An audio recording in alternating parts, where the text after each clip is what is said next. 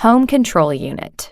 What you are currently looking at is the home version of the RCU controller, which offers more functionalities, including integrated control of lighting switches, dimming, air conditioning, curtain control, compatibility with third-party RS-485 devices, and the option to use it as a gateway with its Ethernet port.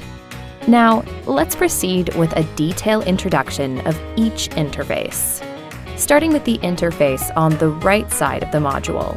The first terminal has eight interfaces. The first one is the COM port, with the first 1 to 5 interfaces used for room number displays in hotel projects, and the 6th and 7th interfaces used for connecting doorbells.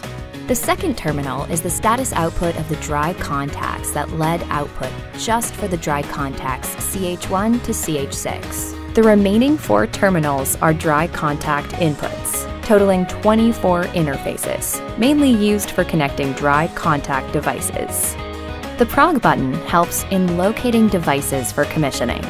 At the bottom, the rightmost terminal is the bus interface, followed by the hotel-specific interface, a third-party RS-485 interface, and the doorbell output terminal, which functions like one relay circuits with a relatively low voltage. Next, let's explore the left side of the hybrid module, which primarily connects to lighting, curtains, and air conditioning devices. LN is the input for mains power, live and neutral. The three neutral lines need to be combined, connected together. Special attention is needed for the outports 14, 15, 16, and 17, as they are managed by COM6 and require a connection to the live wire for power supply. The COM5 interface also requires power supply for output 13.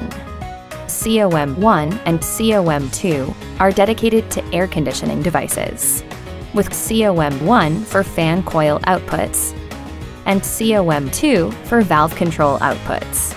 Both COM1 and COM2 require power supply as well. COM3 can be used for lighting and dry contact motors, such as connecting to curtain motors like 6-7 for curtains or 8-9 for sheer curtains. Similarly, COM6 can be used for similar purposes. It's essential to note that if you're using a high voltage motor, you can connect it with the live wire of other COM ports. However, if it's a dry contact motor, it needs a separate power supply to avoid damaging the equipment.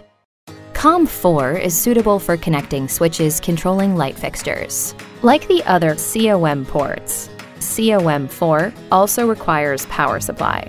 Finally, there are interfaces with dimming symbols 18, 19, 20, 21 that support four dimming circuits, which can be connected to leading edge lights.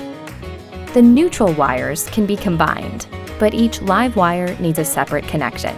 In the middle of these interfaces, 18 to 21, there are a fuse socket for the dimming circuits. If any of the fuses blow, you can easily replace them by removing the fuse seat. The next step is to wire the RCU controller. Simply connect the bus interface. The wiring is done. At the end of the video, you can take a screenshot of all of the interface explanations for your reference.